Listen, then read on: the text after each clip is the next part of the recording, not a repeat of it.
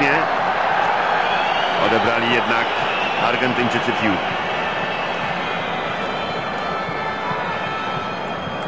Rodriguez. Sorin. Rodriguez. Atakuje tam Koroman. Sorin. Mascherano. Riquelme.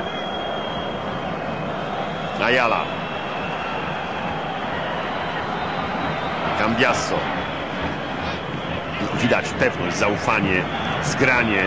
Oni wiedzą, gdzie kto jest, do kogo zagrać. Sorin. Co ważne, nie tracą piłki, utrzymują się, prowokując Serbów tak, aby wyszli do nich. To oni muszą teraz gonić i odebrać im piłkę. Saviola.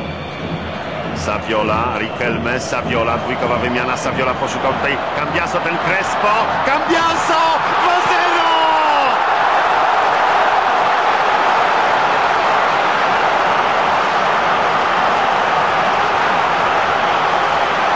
Ta akcja chyba przejdzie jako najładniejsza, jak do tej pory rozgrywana w Mistrzostwach Świata.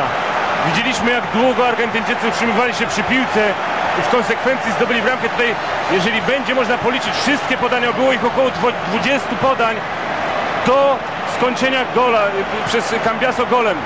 Nieprawdopodobna konsekwencja w rozgry- rozgrywaniu całej akcji.